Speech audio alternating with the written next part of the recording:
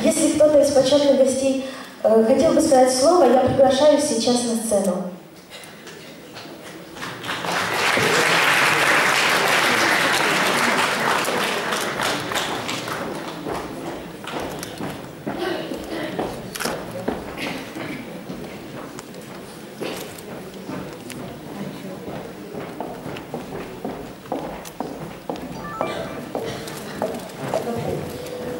Дорогие друзья, Министерство культуры Донецкой Народной Республики приветствует всех участников фестиваля и вас, э, дорогие слушатели.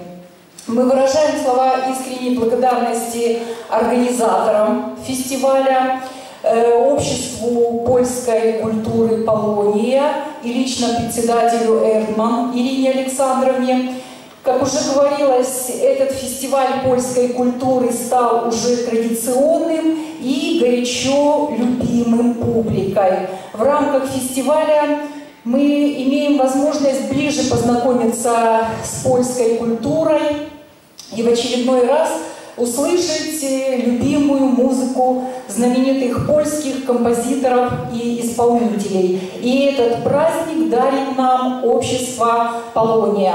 Разрешите мне вручить благодарность Министерства культуры Донецкой Народной Республики обществу польской культуры Полония за активную творческую деятельность и весомый вклад в развитие польской культуры на территории Донецкой Народной Республики. Желаем всем добра, мира и вдохновения. Ирина Александровна.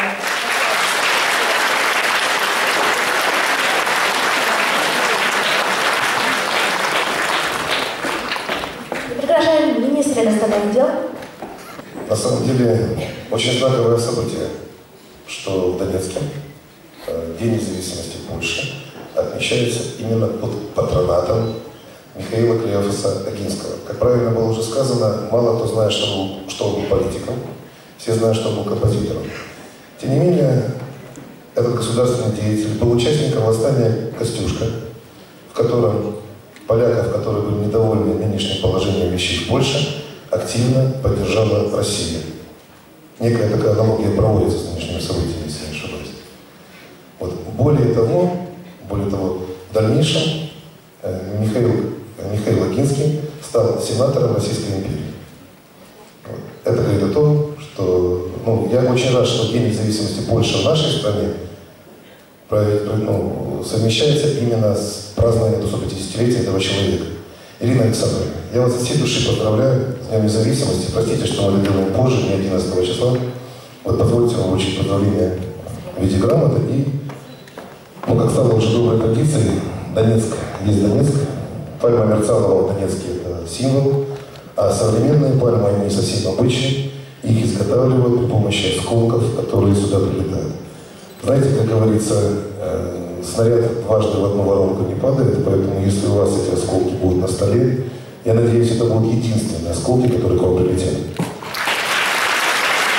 Собственно, что касается розы, она сделана из того же материала. Я вас поздравляю. Я поздравляю всех вас, друзья. Министерство иностранных дел всегда будет поддерживать любые национальные общины, которые проживают в нашей стране.